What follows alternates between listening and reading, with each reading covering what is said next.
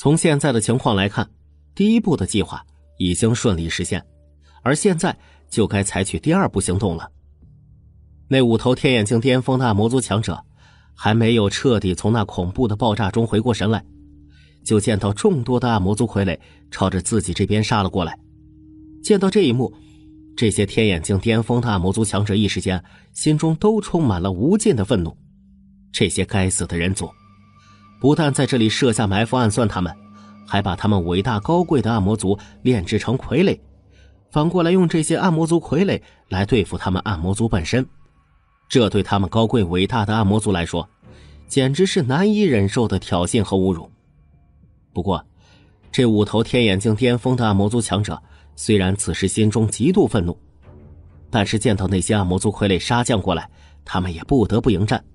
毕竟，这些暗魔族傀儡已经不是他们的同族，而是已经被人族炼制成了对付他们的傀儡工具。这些暗魔族傀儡虽然都是天眼境初期。和天眼境中期的暗魔族尸体炼制而成，和他们这种天眼境巅峰的暗魔族强者，在实力上还是相差非常巨大的。但奈何，他们事先被那恐怖的杀阵给炸得重伤，而这些天眼境初期和天眼境中期的暗魔族傀儡，数量又众多，对他们所形成的威胁还是挺大的。毕竟，他们无敌的肉身防御已经在刚才的恐怖爆炸中被破。在遭受外来的攻击的时候，比起肉身防御没有被破之前，就容易受伤的多了。眼见着五名天眼境巅峰大魔族强者被众人操控着一众天眼境暗魔族傀儡结成战阵，团团围困住，楚剑秋又再次下令道：“张成，末将在。”听到楚剑秋的叫唤，张成立即上前拱手躬身行了一礼，答应道：“让机关营众将士准备。”楚剑秋脸色沉冷的下令道：“是公子。”张成沉稳有力的应道。说着，他取出通讯令牌，对着一众机关营将士下令道：“众将士听令，开始行动。”是将军。那些机关营将士在收到指令之后，纷纷回应道：“随着张成的命令下达，周围的天空中一艘艘巨大的云舟从暗中驶了出来。这些云舟。”悬浮在四周的天空中，把五头天眼境巅峰的魔族强者包围在中心。每一艘巨大的云舟上，都装着一具具巨大的战争兵器。这些战争兵器啊，泛着冰冷的金属光泽，散发着冰冷而肃杀的铁血气息，让人只是看一眼，就不由感觉一阵心悸。这些战争兵器的数量，达到了六七百具，光是先天极品级别的。就有两百多具，六七百艘云舟，把五头天眼境巅峰的魔族强者包围在中央。那些战争兵器的炮口，都朝着那五头天眼境巅峰的魔族强者瞄准着。动手！楚剑秋见到那些机关营将士已经准备妥当，当即下令道：“这就是楚剑秋的第三步计划，先用众多的天眼镜暗魔族傀儡，牵制住那五头天眼镜巅峰的暗魔族强者。”然后用一众战阵甲兵，对着这五头天眼镜巅峰的暗魔族强者狂轰滥炸。在楚剑秋的一声令下，六七百艘云舟上的战争兵器在同一时间启动，朝着那五头天眼镜巅峰的暗魔族强者轰了过去。六七百道巨大无比的光柱从那些战争兵器中激射而出，朝着那五头天眼境巅峰的暗魔族强者汇聚而去。这一次针对这五头天眼境巅峰的暗魔族强者的行动，比起之前楚剑秋攻打血魔宗老巢的时候调动的力量可要强大的多了。无论是在天眼境暗魔族傀儡上，还是出动的战争兵器数量上，都远非之前攻打血魔宗老巢时可比。见到那一道道巨大无比的光柱朝着自己轰击过来，格雷斯、理查斯等天眼境巅峰大魔族强者心中不由大骇。从这些恐怖的攻击中，他们这一刻都感觉到了致命无比的威胁。格雷斯等暗魔族强者开始奋力的挣扎着，想要躲开这些恐怖的攻击，但可惜的是，此时他们被人族众多强者操控着那些暗魔族傀儡结成战阵，死死的缠住，根本就躲闪不开，眼睁睁看着那些光柱朝着自己的身上轰击过来。这也正是楚剑秋为何先让众人操控着那些暗魔族傀儡，先把这五头天眼境巅峰的暗魔族强者缠住的原因。因为只有先把他们给围困住，机关营的战阵甲兵才有可能发挥作用，否则，战争兵器要想击中天眼境巅峰的强者，实在太难了。天眼境巅峰强者的速度都是非常快的，一旦见势不妙，立即便会逃走。但此时，这五头天眼境巅峰的暗魔族强者，被那些天眼境暗魔族傀儡结成战阵围困在中央，一时之间哪里能够脱身，纷纷被那些战争兵器给轰了个正着。数百道巨大的光柱轰击在这五头天眼境巅峰的暗魔族强者身上，爆发出一阵惊天动地的巨响，耀眼的光芒晃得众人几乎睁不开眼来。恐怖无比的攻击使得那一片天空。再次被轰得崩塌湮灭，可怕无比的能量余威，把一些围攻那五头天眼境巅峰大魔族傀儡都直接给冲击的粉碎。当那耀眼无比的光芒逐渐平息的时候，五头天眼境巅峰那魔族强者情况显得更加凄惨了。这五头天眼境巅峰那魔族强者身上满是烧焦的痕迹，身上布满了伤痕，那些被撕裂的血肉。东一块西一块的挂在身上，显得凄惨无比。其中，有两头天眼境巅峰的暗魔族强者，更是当场毙命。那两头在这一波攻击中被轰杀的暗魔族强者，一头是理查兹，一头是梅维斯。理查兹在黑暗之山边缘的那一战中，本就被摘少元的自爆伤得不轻，而梅维斯则是被江柔放出的那具暗金色傀儡给重创。虽然经过半年时间，在赶路途中，他们的伤势也恢复了不少，但毕竟还没有痊愈。本来就带伤的他们，在楚剑秋所设下的可怕手段的接连攻击下，他们两个终于扛不住，被直接轰杀了。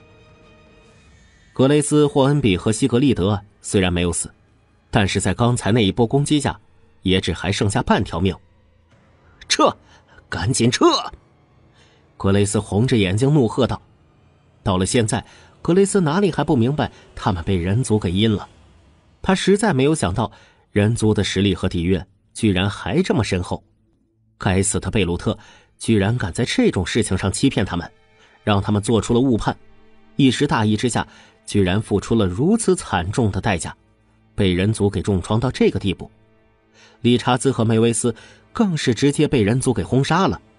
这一刻。格雷斯的心中简直恨死了贝鲁特。如果不是贝鲁特提供的情报有误的话，他们绝不至于落得这般下场。此时此刻，格雷斯哪里还敢继续在这里待下去？光是这接连的三波攻击，就让他们损伤如此惨重，而至今那些人族强者都还没有正式露面呢。后面，人族都还不知道还有多少强大的手段在等着他们呢。继续在这里待下去。恐怕他们都有可能会落得个全军覆没的下场。见到理查兹和梅维斯被轰杀，林醉山、段千和和任环等人眼睛都是有些红了。翟护法，你的大仇已经得报了，你在九泉之下也可以瞑目了。林醉山仰天长叹道：“在黑暗之山边缘的那一战，翟少元正是被理查兹所重创。”而被逼的不得不自爆，来为人族众人争取机会。此时见到理查兹被轰杀，林醉山心中自然感慨万千。他在翟少元身上曾经寄予过巨大的厚望，打算把翟少元培养成为自己的接班人。他和翟少元之间的关系可以说是亦师亦友，他曾经指点过翟少元的修行，翟少元也同样把他当做半个师尊看待。虽然他和翟少元有时的理念不太相合，毕竟翟少元在对抗魔族这件事情上表现得更加激进，有时翟少元对他对待投降派的态度也很是不满，认为不应该在投降派面前表现的那么软弱。有很多次，翟少元都建议给投降派那些杂碎一些颜色瞧瞧，震慑一下他们，让他们的行为收敛一些，不至于太过放肆。但他出于人族的大局考虑。还是没有采纳翟少元的建议。虽然他和翟少元之间有过这样那样的矛盾，但是总体来说，翟少元对他的尊敬还是没有变的。依然把他当做半个师尊来看待。所以，对于翟少元之死，林醉山是非常心疼的。但可惜的是，他却没有能力给翟少元报仇。在这些天眼境巅峰的暗魔族强者面前，他能够自保已经算是不错了，更不用说杀了这些天眼境巅峰的暗魔族强者为斋少元报仇了。但是现在，斋少元的仇却是由楚剑秋帮忙报了。见到大仇得报，林醉山心中欢喜的同时啊，又是有几分伤感和痛惜。此时，眼见着格雷斯、霍恩比和西格利德想要逃跑，林醉山目光顿时一冷。语气冰冷的说道：“哼，想逃，做梦！”说着，他率先朝着格雷斯、霍恩比和西格利德杀了过去。在见识过楚剑秋的手段之后，林醉山此时已经完全没有后顾之忧了。即使他死了，人族有楚剑秋在，就可保无虞。以现在人族的实力，多他一个和少他一个，对于大局来说已经无关紧要了。他现在。只想痛痛快快的杀一场，宣泄这么多年来的憋屈。这么多年来，他为了人族的大局兢兢业业，处处受到掣肘。自己分明是人族留在中州的最强者，但为了人族的大局着想，连在战场上痛快杀敌都不敢。因为万一他一个不小心陨落了，人族没有人主持大局，恐怕很快就会被魔族给攻陷前线。使得人族的疆土陷落，生灵涂炭。而现在，他终于可以抛开一切顾虑，痛痛快快的去杀一场，为自己活一次了。因为，如今人族已经有了比他更加出色的少年英杰，已经用不着他来操心人族的大局问题了。啊，林盟主这是干嘛呢？见到林醉山朝着格雷斯、霍恩比和西格利德三头暗魔族强者杀了过去，楚剑秋顿时不由一愣。有几分无奈的说道：“他都还没有下令呢，林醉山居然就擅自跑出去了。一向沉着稳重的林盟主，这次居然表现的如此冲动，着实让楚剑秋有几分惊讶。本来他还打算安排第四步计划呢，而人族强者亲自出手，这是楚剑秋安排在最后一步才会做的事情。毕竟，和天眼境巅峰大魔族强者厮杀，这可是非常凶险的一件事情。”能不让人族强者出手，就尽量不让人族强者出手。即使迫不得已，最后要出手，那也得安排在最后。等到所有的手段尽出，把这几头天眼境巅峰大魔族强者的力量消耗的差不多再说。现在林醉山杀了出去，倒是有点打乱楚剑秋原定的计划了。算了，既然如此，那就第四步行动和第五步行动一起来吧。见到林醉山已然杀了出去。楚剑秋也只好改变计划了。楚剑秋手一挥，身周出现五十具暗金色傀儡。去，杀了那三头天眼境巅峰那魔族。楚剑秋对这五十具暗金色傀儡下令道：“金龙分身之前从东海的远古龙宫遗址中带回了一百多具的暗金色傀儡，在青衣小童和炼器房的修复下，如今已经修复了其中五十具。其实，这五十具暗金色傀儡最主要的……”还是由青衣小童所修复的。淳于石和一众炼器房的炼器师，虽然把这暗金色傀儡的结构和运行原理完全搞清楚了，但是他们的修为毕竟太低了，修复这种级别的暗金色傀儡难度实在有点大。在纯玉石和炼器房的炼器师修复了一两具暗金色傀儡之后，楚剑秋见到他们耗费的功夫实在太大了，所以便给他们留下几具暗金色傀儡作为研究之用。其他的暗金色傀儡都被楚剑秋拿回来扔给青衣小童去修复了。对于青衣小童来说，只要给他足够的材料，修复这种级别的暗金色傀儡也是小菜一碟。青衣小童修复的这五十具暗金色傀儡，至少有一半都拥有天眼境巅峰的战力，而且这暗金色傀儡的防御力方面还坚固无比，比起一般的天眼境巅峰强者都有着不小的优势。在楚剑秋的命令下，那五十具暗金色傀儡顿时纷纷朝着格雷斯、霍恩比和西格利德杀了过去。见到这一幕，格雷斯、霍恩比和西格利德脸色不由瞬间巨变。当初在黑暗之山边缘的那一战，光光是其中一具暗金色傀儡，就把梅维斯伤得不轻。他们很清楚这种暗金色傀儡的战力究竟有多可怕，而现在居然杀出了整整五十具的暗金色傀儡。整整五十具暗金色傀儡杀过来，简直让格雷斯、霍恩比和西格利德心胆俱寒。这一刻，他们一颗心完全沉到了谷底。他们真是没有想到，人族的底蕴和实力居然还深厚到如此地步。原本他们以为，经过当年那一战之后，人族的底蕴基本上已经耗尽了，要不然也不至于让贝鲁特那一支角魔族大军支撑这么多年。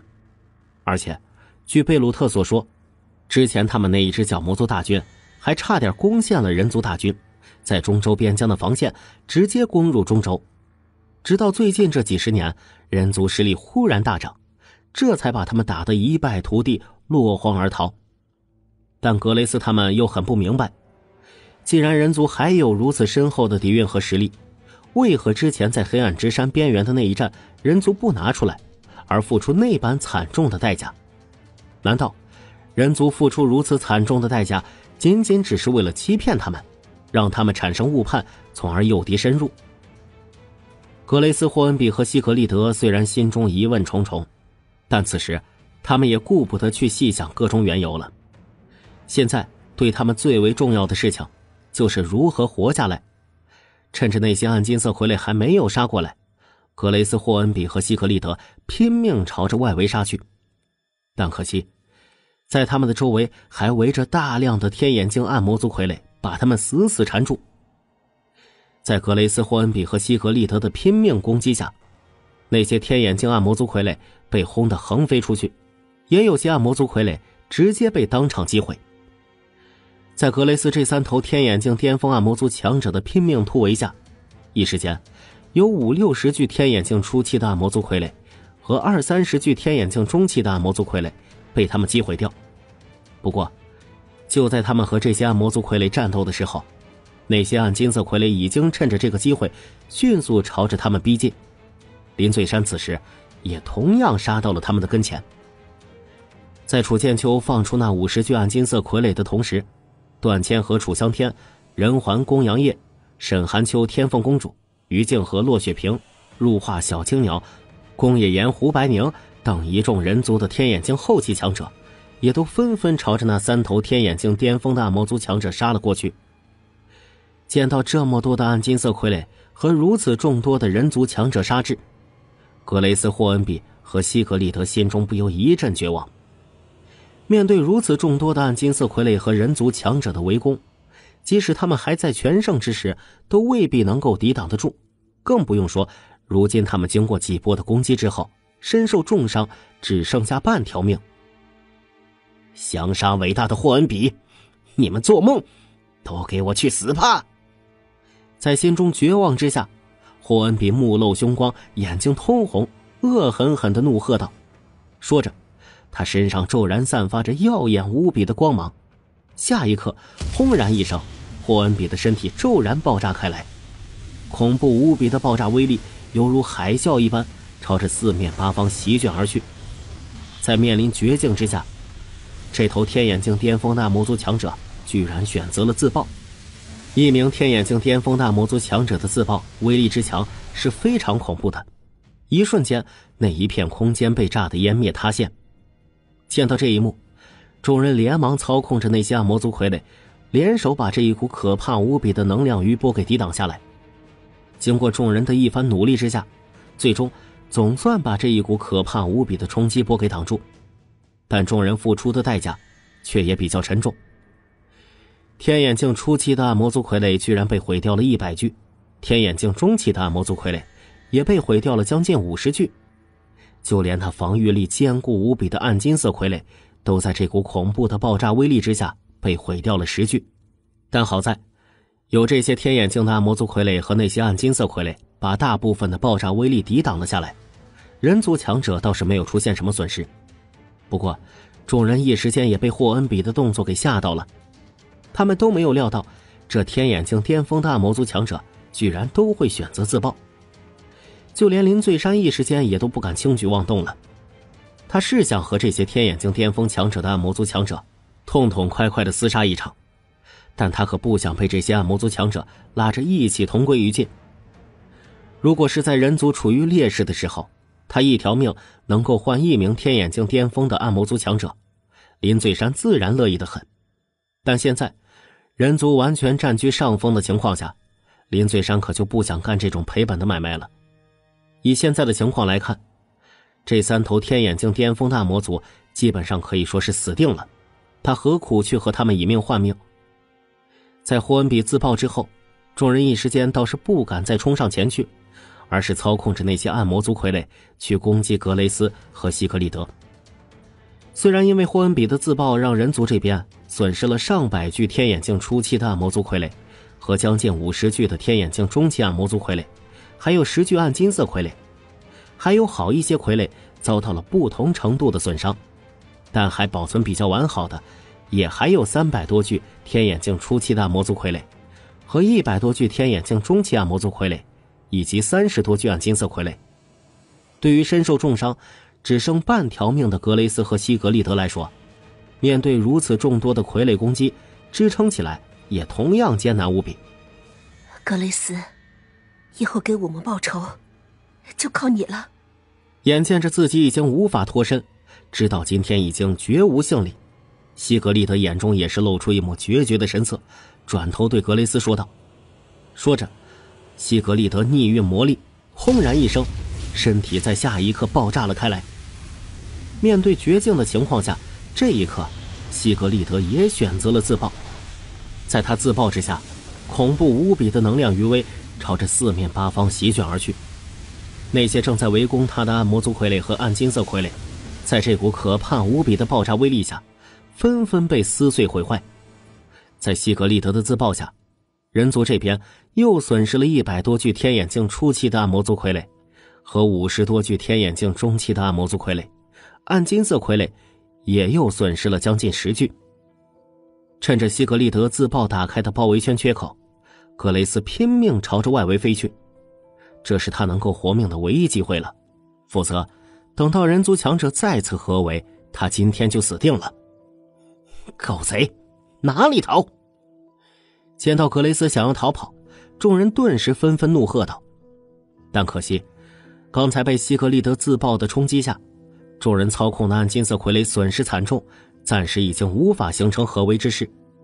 而当时西格利德的自爆，众人又不敢靠得太近。免得被那股自爆余波轰杀。此时对格雷斯的合围之势已经被破，无法形成完美的包围圈，一下子被格雷斯趁着机会逃了出去。但今天好不容易重创了格雷斯，众人哪里会眼睁睁看着他逃跑？随即，林醉山、段千和、楚香天、沈寒秋、天凤公主和于静和、入画、小青鸟和宫野岩等人，都纷纷朝着格雷斯追杀过去。不过，格雷斯虽然身受重伤，只剩下半条命，但他再怎么说，好歹也是一名天眼境巅峰强者，在飞行速度上，也不是段千和、任环等一些刚刚突破天眼境后期的武者所能够相比的。众人追了一阵，反而越追越远，慢慢被格雷斯甩在了身后。能够紧跟在格雷斯身后的，只有沈寒秋、林醉山、入画、小青鸟和宫野岩寥寥几人。而几人之中，尤以沈寒秋的速度最为迅速。沈寒秋在突破天眼境后期之后，在实力上本来就已经不弱于天眼境巅峰强者了，而他又在南州使用二十二级剑意淬体大阵苦修了几个月，在楚剑秋不计成本的投入下，他的境界稳固的极快。如今沈寒秋的实力已经足以和顶尖的天眼境巅峰强者媲美了，只是追了一盏茶时分。沈寒秋就已经追上了格雷斯。沈寒秋手持紫霄金剑，施展罗天大炎剑诀，一剑朝着格雷斯劈了过去。在沈寒秋来到南州的时候，楚剑秋便让青衣小童把罗天大眼剑诀也传授给了他。以沈寒秋的实力和武道资质，他很快就把罗天大眼剑诀修炼至第一重第十四式。沈寒秋这一剑劈出，凌厉无比的剑光划过天际。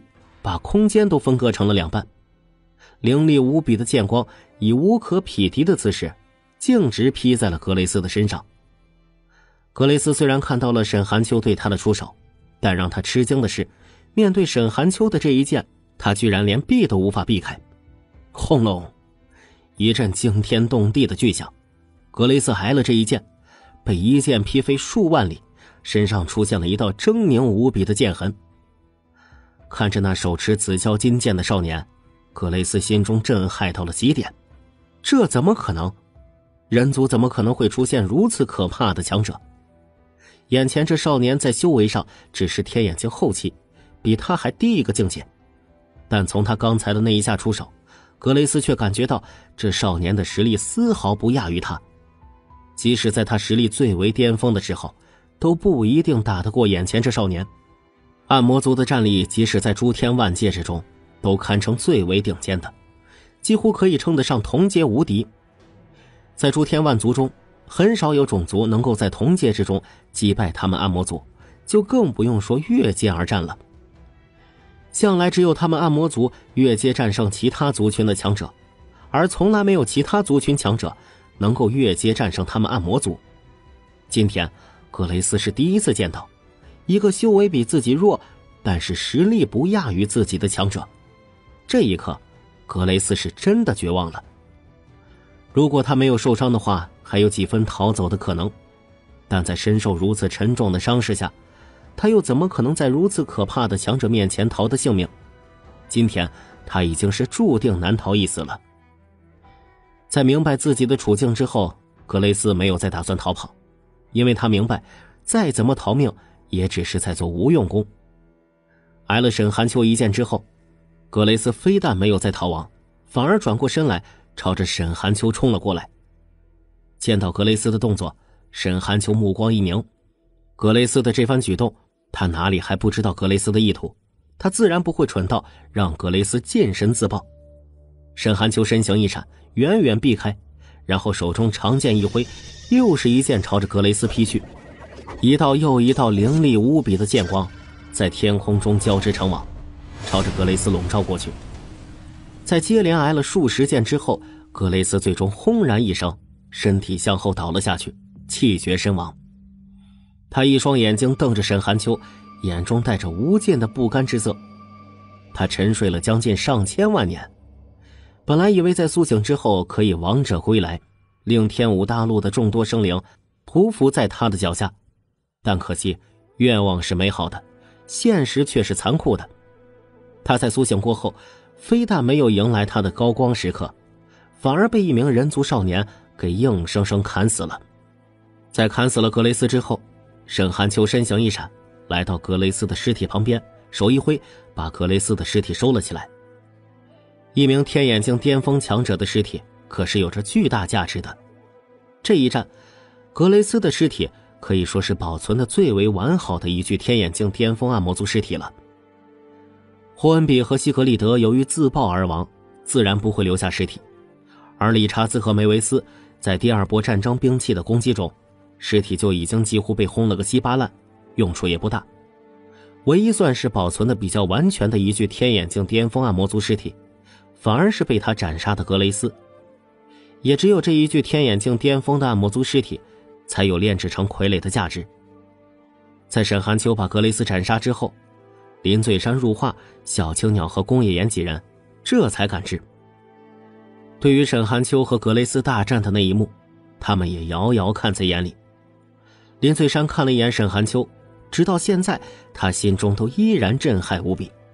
他实在没有料到，楚剑秋的这具第三分身的实力，居然强悍到如此地步。对于沈寒秋的身份，林翠山自然是清楚的。当年沈寒秋在东周结石关的天外和虎山爆发的那场大战，他还曾经降临过神念分身观战过。只不过，当初的沈寒秋实力虽然也很强大，但却远远没有强大到现在这个地步。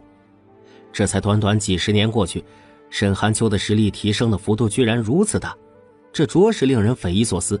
果然不愧是楚剑秋的分身。这武道天赋之强，除了楚剑秋本尊之外，真是无人能敌。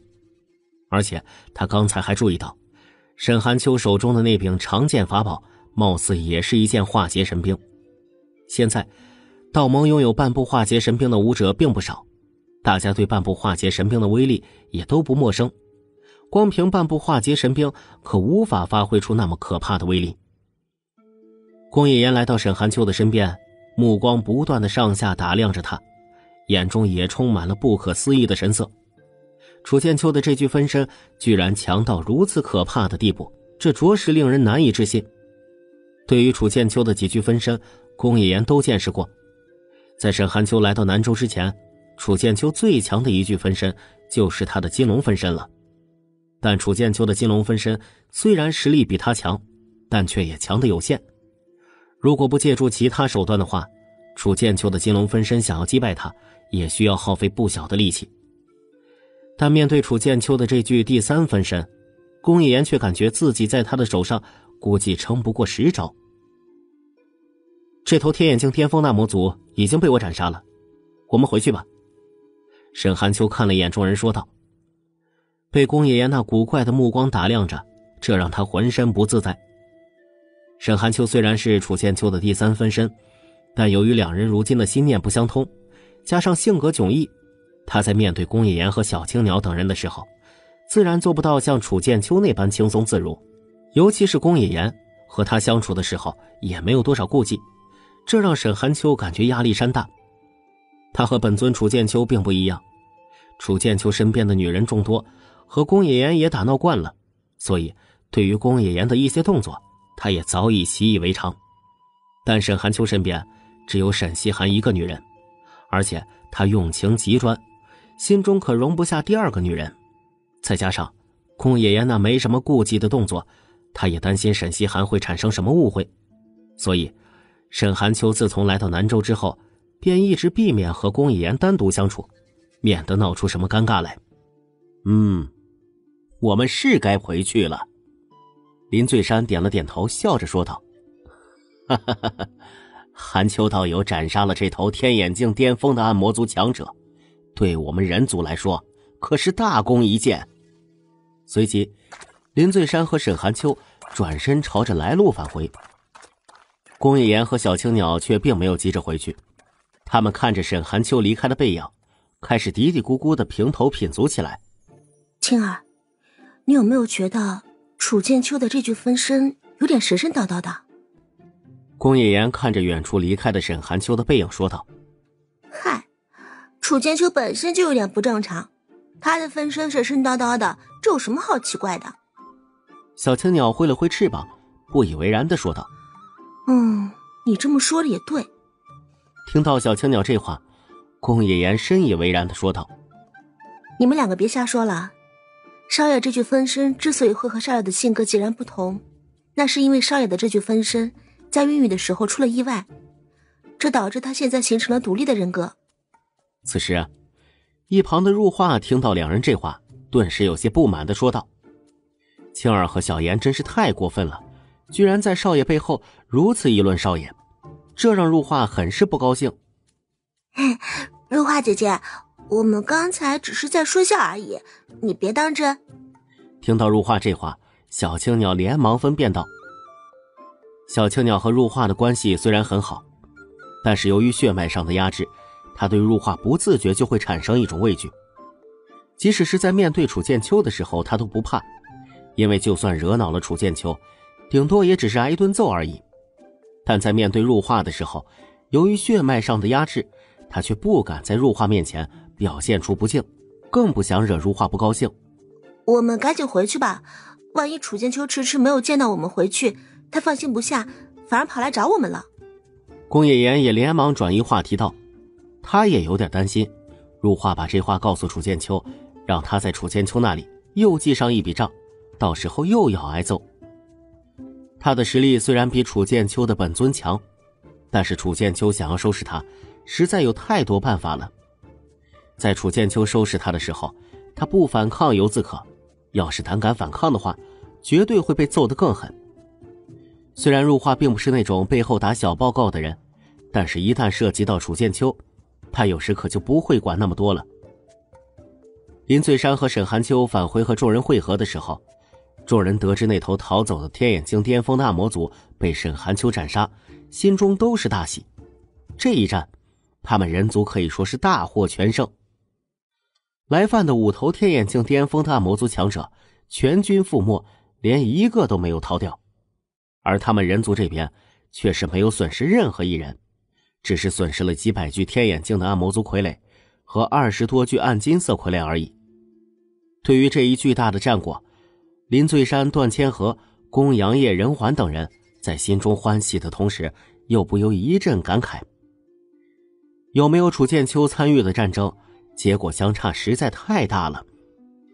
当初在黑暗之山边缘的那一战，由于正好碰上楚剑秋闭关突破飞升境，他们那一战损失惨重，最终付出了巨大的代价，这才为人族大军的撤退争取到足够的时间。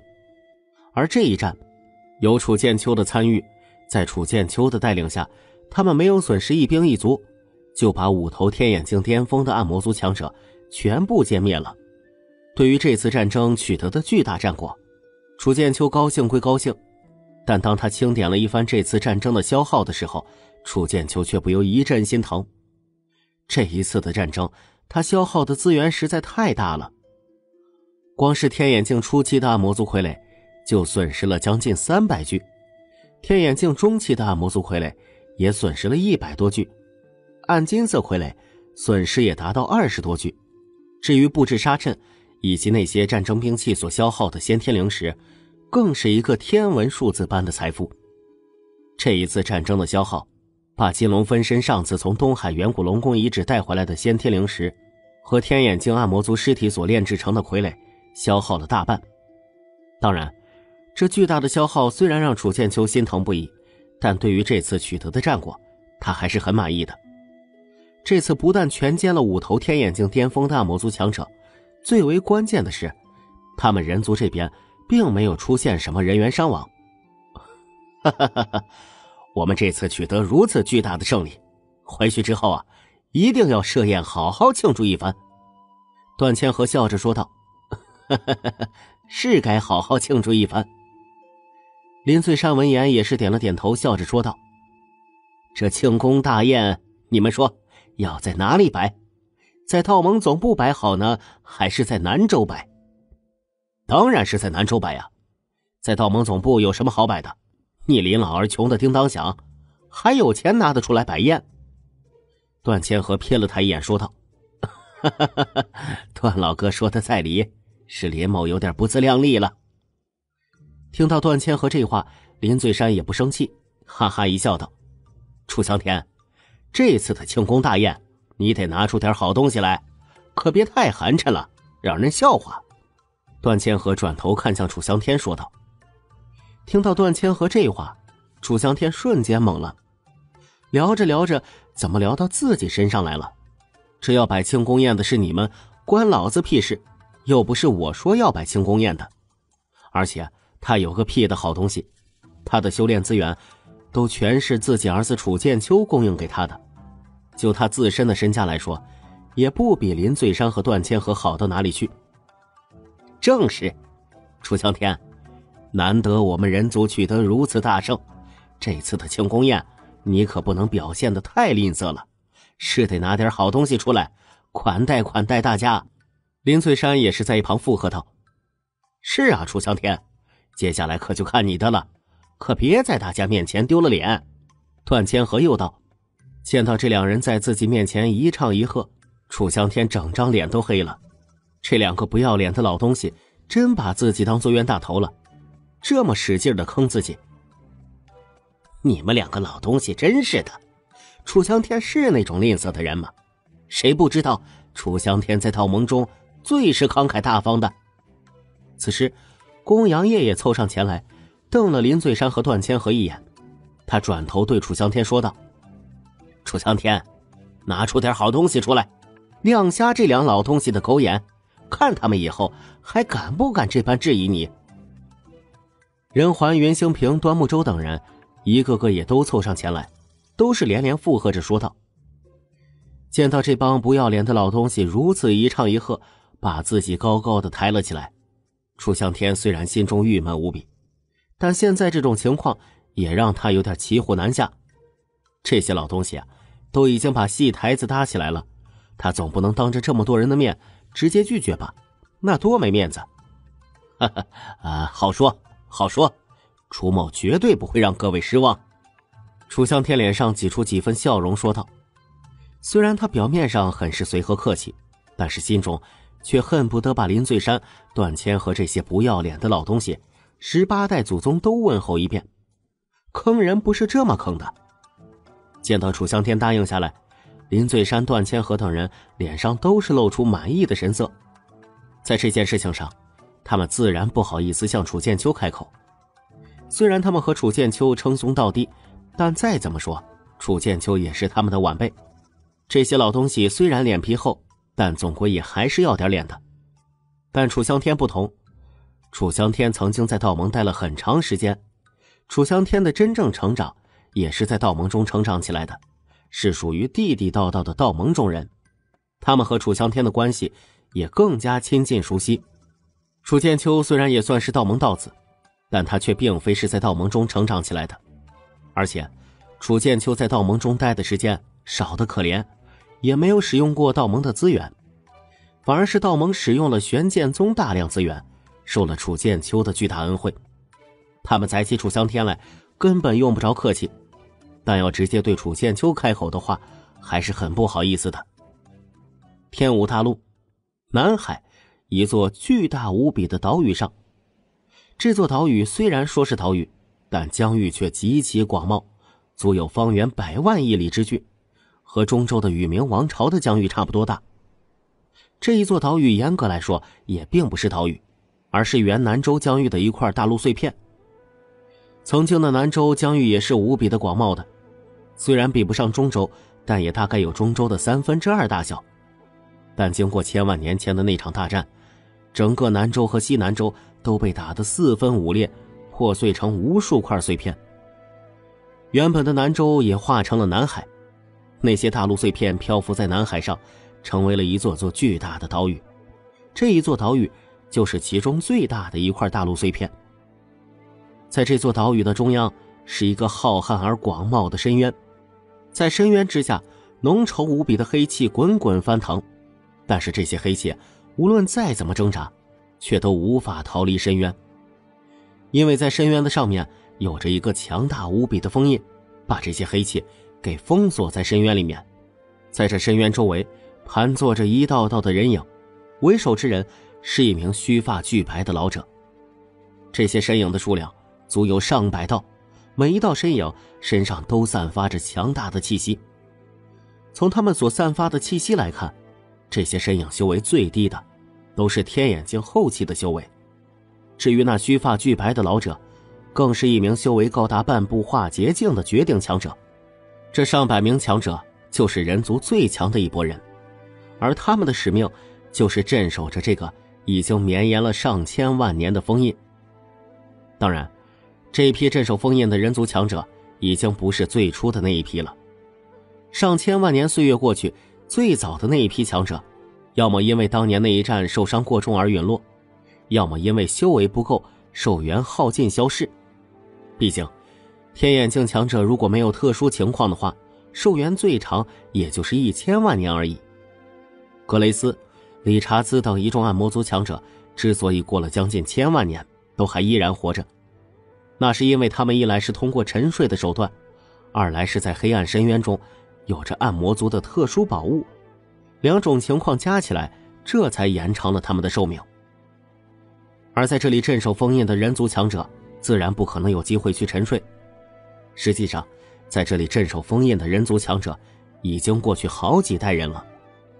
即使有年纪最长的那名须发俱白的老者，也都只是第二代的镇守者，而并非是第一代镇守者。第一代镇守者，早就已经全部消失在光阴的长河里了。上百名人族强者分散在深渊四周，镇守着各自的方位。忽然间，那名须发俱白的老者猛然睁开眼睛，抬头朝着西边的天空望去。下一刻，他脸色瞬间大变：“有情况，大家小心警戒！”须发俱白的老者盯着天边那迅速朝着这边靠近过来的一片黑云，脸色凝重无比的说道：“他所一直担心的事情，今天终于来了。”南州。一众人族强者通过传送阵来到南州，正大摆庆功宴，庆祝之前的大胜。此时，林醉山忽然取出了一枚通讯令牌，神念渗透进去，读取了里面的讯息。不好！在读取里面的讯息之后，林醉山瞬间脸色巨变，整个人豁然从座位上站了起来。林老二，怎么了？见到这一幕，段千和等人纷纷朝着林醉山这边望了过来，疑惑无比的问道：“他们还从来不曾见过林醉山如此失态，究竟是什么事情，居然让堂堂的道盟副盟主如此惊慌失措？那五头天眼境巅峰的暗魔族强者，居然并非是魔族真正隐藏的实力，仅仅只是他们微不足道的一支小队而已。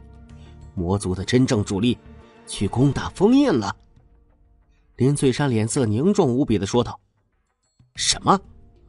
那五头天眼境巅峰的魔族强者，并非是魔族隐藏的真正主力。”听到林翠山这话，众人顿时不由大惊失色。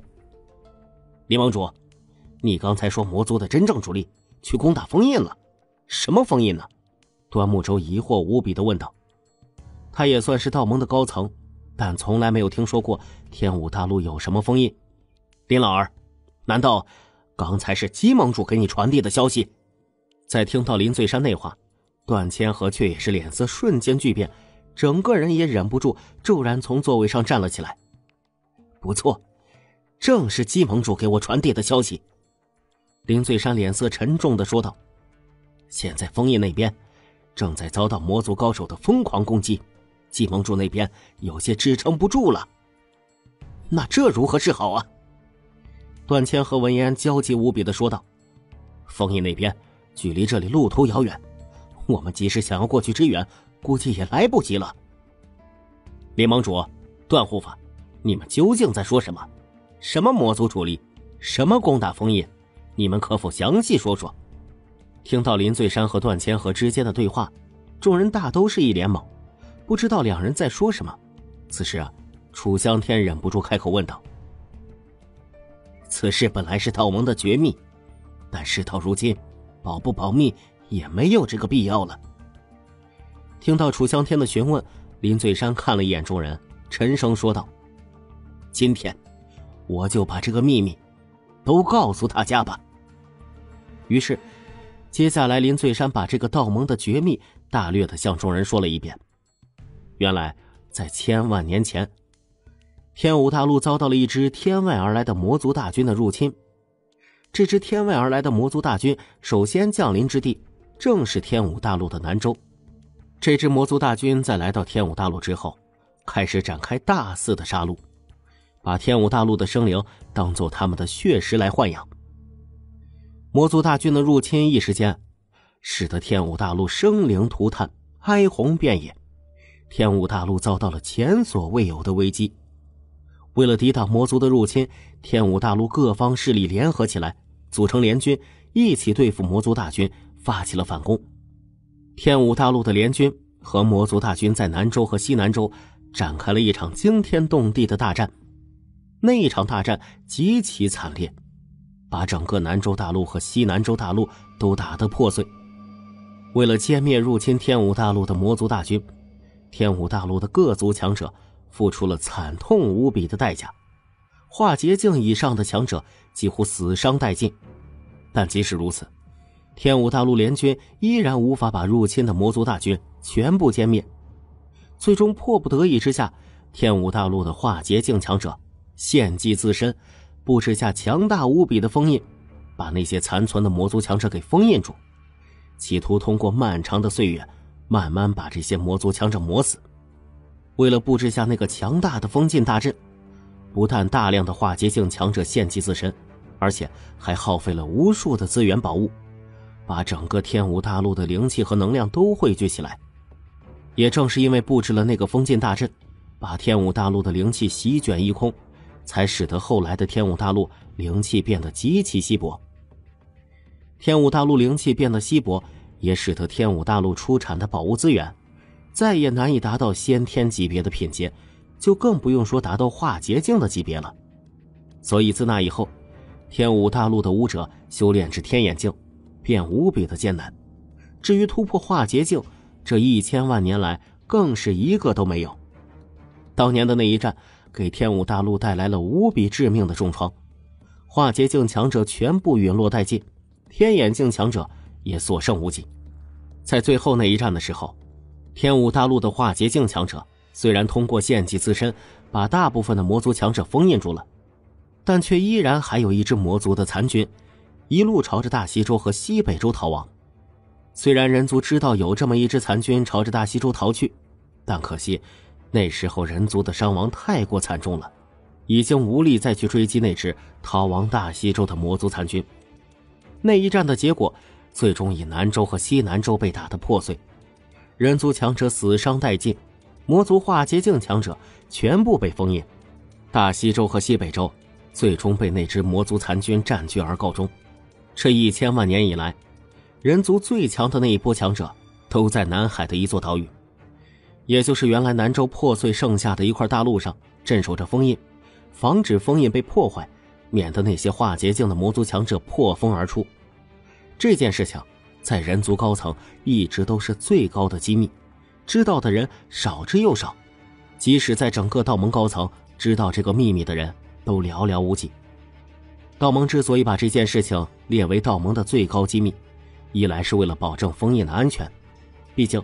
封印之事涉及到整个天武大陆的生死存亡，一旦封印遭到破坏，被里面的化劫境魔族强者破封而出，天武大陆将会面临一场灭顶之灾。现在的天武大陆可没有当年那么多的化劫境强者来抵抗这些魔族强者了。一旦这个秘密被太多的人知道，难免会让一些别有用心之人，或者一些被魔族收买之人从中搞破坏，所以。为了保证封印的安全性，道盟把这件事情列为道盟的最高机密来对待。二来这样做也是为了稳定人心。如果普通武者知道天武大陆居然还隐藏着如此可怕的巨大隐患，难免会引起恐慌，打击人族的信心和士气。一旦人族没有了信心和士气，就很难支撑起抵挡魔族的心气。毕竟，光是目前这种情况。人族之中就不乏主张向魔族华贵投降的投降派，如果这个消息传播开来，恐怕会有更多人丧失抵抗魔族的信心，纷纷转向投降派，让投降派的势力大涨。正是基于这种种的顾虑，所以道盟才把这件事情列为绝密，绝不允许随意泄露有关封印的任何消息。这也就导致，即使是有很多道盟的高层对于这件事情也是一无所知的。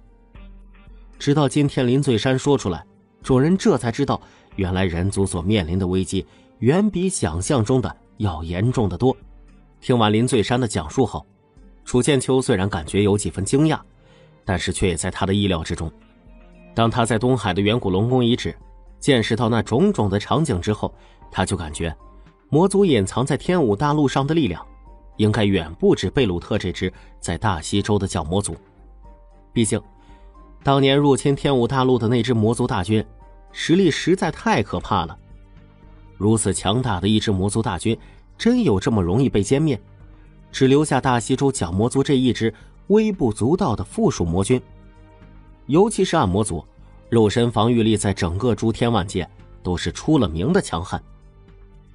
楚剑秋从青衣小偷那里得知，暗魔族即使在诸天万界之中，都是有名的难杀。击败暗魔族的强者或许相对来说要容易一些，但是要杀死肉身防御力强悍无比的暗魔族强者，实在太难太难了。所以，诸天万界中，其他族群对付暗魔族强者的时候，很多时候也是把他们给封印起来，让光阴之力慢慢把他们给磨死。现在听到林醉山这番话，倒是验证了楚剑秋心中的猜想，果然不出他所料。魔族残留在天武大陆的力量，远比表面上的强大了无数倍，而同样，人族的实力也并非只是他表面上所看到的那样。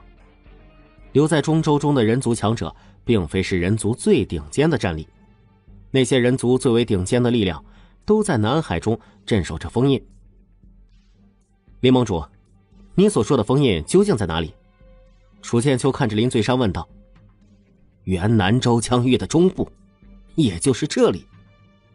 林醉山手指在空中一点，用真元在空中描绘了一张南州的地图，指了指其中一个巨大的岛屿，说道：“我先过去看看。”楚剑秋看了一眼林醉山所指的那个地方，说道：“说着，楚剑秋身形一闪，来到了南州上空，取出长剑，一剑朝着南边方向劈出，撕裂了一道空间裂缝，身形一闪，进入空间裂缝中。”林醉山见到这一幕，先是一愣，继而这才想起。楚剑秋可以通过撕裂空间赶路，心中顿时大喜。有楚剑秋赶过去，或许就能够帮上大忙，击退那些攻击封印的魔族强者也说不定。楚剑秋接连撕裂空间，来到了林醉山所描述的位置附近。当他从空间裂缝中出来的时候，果然见到在遥远的一座巨大岛屿的中央，有着一个极其浩瀚的深渊，在那深渊上方布置着一个强大无比的封印。这深渊周围矗立着一根根巨大无比的石柱，每一根石柱上都篆刻着玄奥复杂的符文。在这些石柱的顶部还布置着无数强大无比的法宝，这些法宝光是化劫神兵就不下上百件，至于先天法宝更是多的不计其数。见到这一幕，楚剑秋这才心中恍然，怪不得天武大陆的先天法宝如此稀缺了，原来。绝大部分的先天法宝都被拿来布置这封禁大阵了。此时，在封禁大阵附近，正爆发着一场惊天动地的大战。一百多名暗魔族强者正在和上百名的人族强者大战着。这一场大战，人族这边明显处于下风。虽然双方的人数相差不大，但暗魔族这边明显强者更多一些。暗魔族这边修为最低的，都是天眼境巅峰的强者。而且，其中的半步化劫境强者就不下十名，而人族这边则大多数都是天眼境后期强者，半步化劫修为的只有一名须发俱白的老者。在整体实力上，人族这边和魔族那边相差实在太大了。人族唯一有一些占据优势的就是地利，因为这场大战就在这封禁大阵的附近爆发，人族还可以调动这封禁大阵的力量来对敌。所以还不至于直接被暗魔族给一边倒的碾压，但即使有封禁大阵的力量相助，人族这边支撑的也依然极其艰难。因为在那些暗魔族强者和人族交战的时候，封印下方也开始爆发一阵阵狂暴无比的力量，在不断的冲击着封印，而封禁大阵的大部分力量都用在镇压封印下方的暴动上，那些镇守封印的人族强者。也不敢调动太多的大阵之力来对敌，生怕镇压封印的阵法之力不够，被封印下面的魔族强者破风而出。在魔族强者的猛烈攻击下，人族强者只是在艰难的苦苦支撑着。但从这形势来看，人族这边落败是迟早的事情，因为双方的实力差距实在是太大了。见到那边大战的情形，楚剑秋的脸色也是凝重无比。虽然他猜到了。魔族这次攻打封印的力量估计不弱，但是当真正来到这里的时候，才发现魔族的力量比他想象中的都还要强大。整整一百多名天眼境巅峰以上的暗魔族强者，这其中还包括十名以上的半步化劫境强者，这是一股何等可怕的力量！要知道，之前光是为了对付格雷斯那五头天眼境巅峰大魔族强者，他就耗费了那么大的力气。更不用说要对付一百多名天眼境巅峰以上的暗魔族强者了。如此可怕的一股力量，对如今的人族来说，简直是令人绝望的。面对如此强大的魔族力量，楚剑秋也不敢贸然上前参战。他如今的实力，顶多也就相当于顶尖的天眼境中期强者而已，和这些至少都是天眼境巅峰的暗魔族强者相比，根本不值一提。如果他贸然上前参加战斗的话，那简直和送死无异。不过，楚剑秋虽然不敢亲自上前参与战斗，但他还是放出了三十具暗金色傀儡，朝着那边的战场飞去。三十具暗金色傀儡，就相当于是三十名顶尖的天眼境巅峰强者战力。有这三十具暗金色傀儡的帮助，那边人族危急的情况应该会缓解不少。咦，这是传说中龙族的暗金色傀儡。这暗金傀儡在千万年前。不是已经在天武大陆绝迹了吗？怎么现在又出现了？莫非当年远古龙族并没有真正覆灭。见到那三十具暗金色傀儡杀过来，一名青袍老者惊讶无比的说道：“管他是什么情况呢，只要能帮我们杀敌，那就是好事。”一名相貌清癯的老者则是满脸惊喜的说道：“他们都没想到，在这种危急时刻，居然还能够得到如此巨大的一股助力。原本在遭到这一股魔族力量攻击的时候，他们都已经绝望了。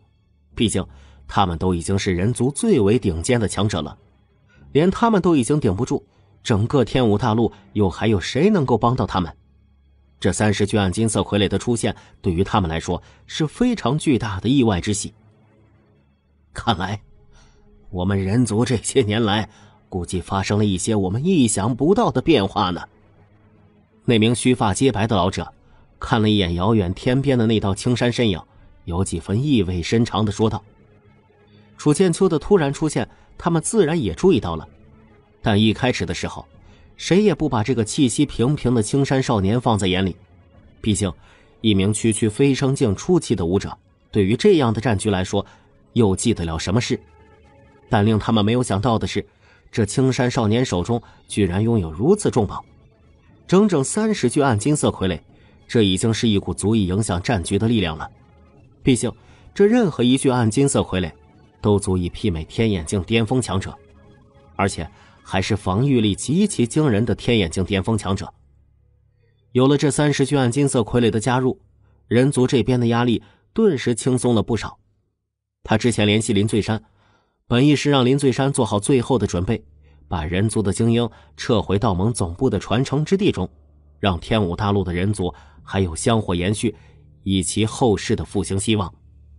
但让他没想到的是，他之前和林醉山的联系，居然还能够给他带来如此巨大的意外之喜。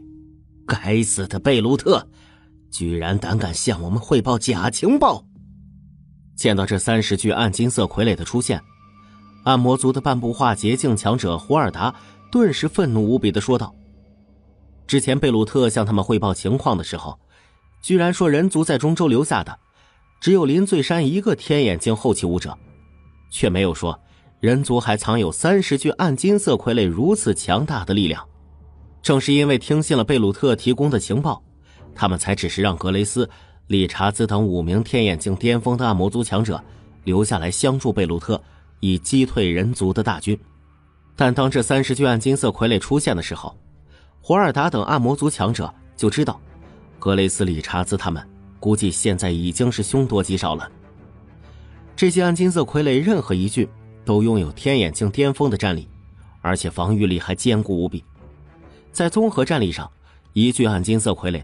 丝毫不弱于一名天眼境巅峰的暗魔族强者。面对三十具暗金色傀儡的围攻，格雷斯、理查兹他们如何抵挡得住？遥远的天边，楚剑秋看了一眼那边的战况，最终身形一闪，降落在岛屿的边缘，开始布置传送阵。那三十具暗金色傀儡的加入，只是让人族这边暂时缓解了一下压力而已，但要彻底抵挡住这些暗魔族强者的攻势。也还是有点困难，长久战斗下去，人族这边还是会必败无疑。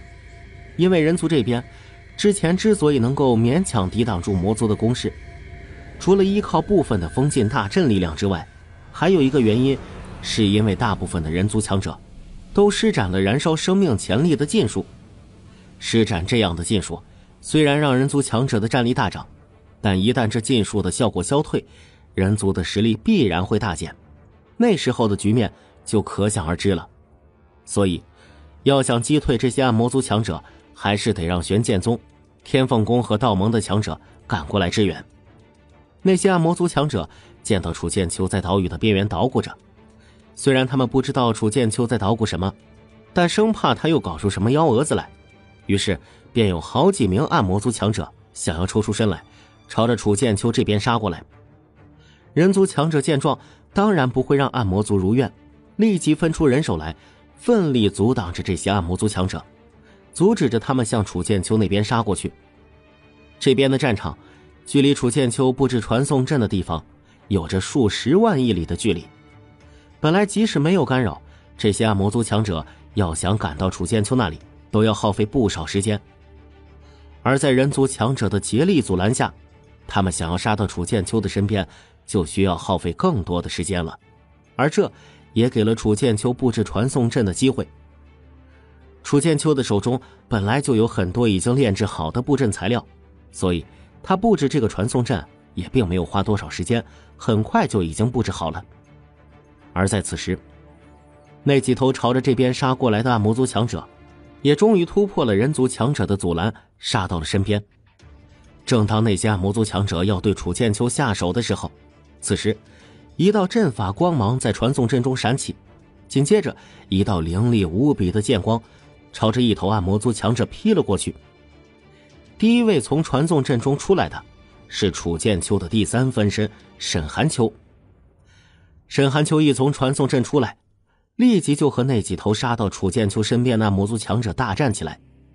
沈寒秋如今的实力本就不亚于天眼境巅峰的魔族强者。再凭借手中的紫霄金剑，更是足以勉强和半步化劫境的暗魔族强者媲美。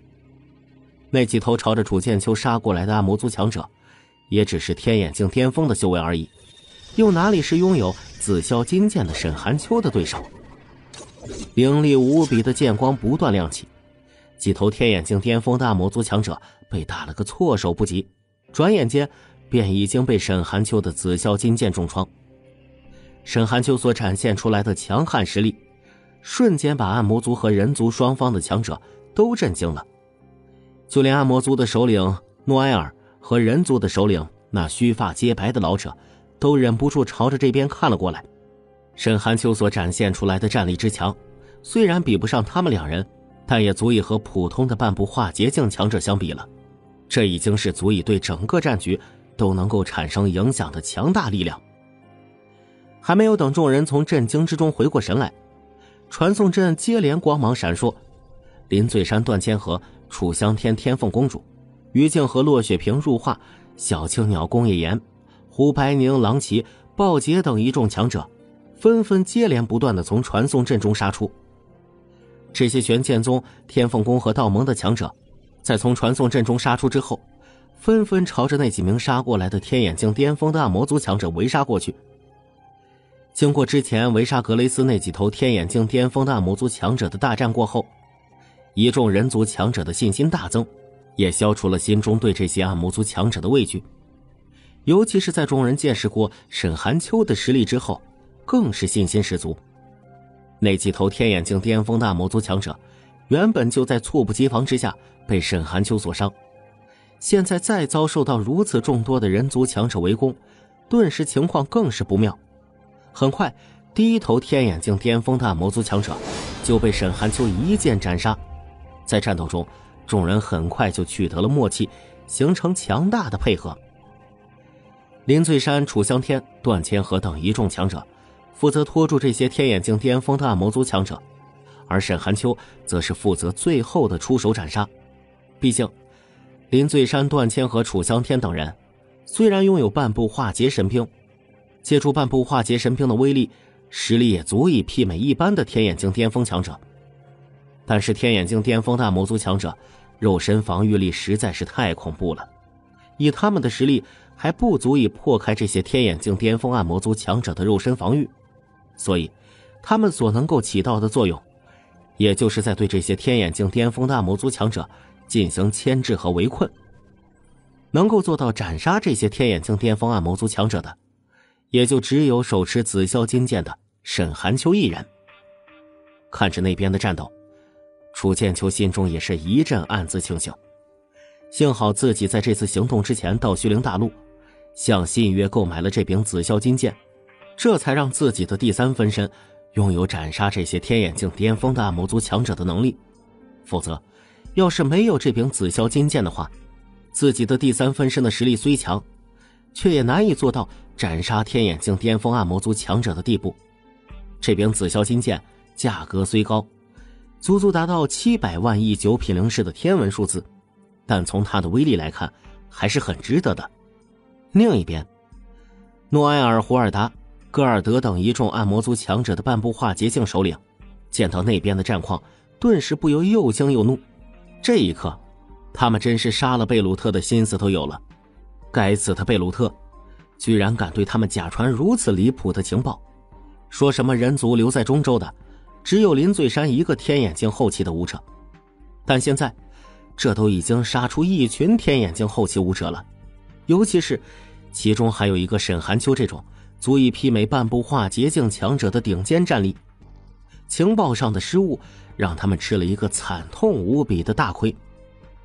要是早知道人族留在中州那边的力量也如此强，他们就不会只让格雷斯、理查兹五名天眼境巅峰那魔族强者留下来帮助贝鲁特抵挡人族大军，而是会先集中力量，把人族留在中州的力量先清除了再说，而不至于让人族对他们进行各个击破。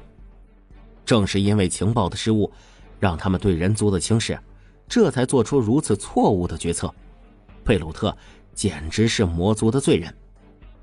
他们现在甚至都已经有点怀疑，贝鲁特是不是已经被人族给收买了，暗中投靠人族，目的就是为了祸害他们暗魔族。这些暗魔族的首领心中惊怒之下，其中之一的半步化阶境强者胡尔达，亲自带领数名天眼境巅峰的暗魔族强者，朝着楚剑秋这边的战场杀了过来。他们必须先毁了那传送阵。防止在中州那边有更多的人族强者跑过来支援，否则再这样下去，他们这次的行动恐怕都得失败了。一旦他们这次的行动失败，他们将再也没有任何可能打破封印，把克里斯大帅他们从封印中救出来了。因为人族吃了这次的亏之后，不可能会再给他们机会有第二次的行动。林醉山等人的出现，让须发皆白老者等人族强者。也都是不由一阵惊喜，他们都没想到，经过这么些年的发展，人族的实力居然已经强大到如此地步，对他们来说，这还真是意外之喜。尤其是那须发皆白的老者，心中更是惊喜不已。本来他向林醉山发送讯息，只是让林醉山着手做好最后的准备，却没想到这一次的通讯，居然会给他们带来如此巨大的支援。见到胡尔达带着几头天眼境巅峰的暗魔族强者，要朝着那边的战场杀去，须发皆白的老者心中一惊，连忙就要阻止。胡尔达可是半步化劫境的暗魔族强者，要是他亲自带着几头天眼境巅峰的暗魔族强者杀过去，林醉山等人未必能够抵挡得住。尤其是胡尔达还是一众暗魔族半步化劫境强者中最为强大的三名首领之一，只是。须发皆白的老者虽然想要阻止胡尔达，但胡尔达要走，他又怎么可能阻止得了？毕竟现场之中可不止胡尔达这一头半步化捷径的暗魔族。当得知胡尔达的意图之后，诺埃尔和戈尔德等半步化捷径的暗魔族强者，自然全力配合胡尔达的行动。在诺埃尔的亲自牵制下，那须发皆白的老者只能眼睁睁地看着胡尔达。带领数头天眼境巅峰的暗魔族强者，朝着那边杀过去。见到胡尔达带着几头天眼境巅峰的暗魔族强者杀过来，楚剑秋手一挥，面前浮现出一座血色的宫殿，正是那座半步化劫神兵的血神殿。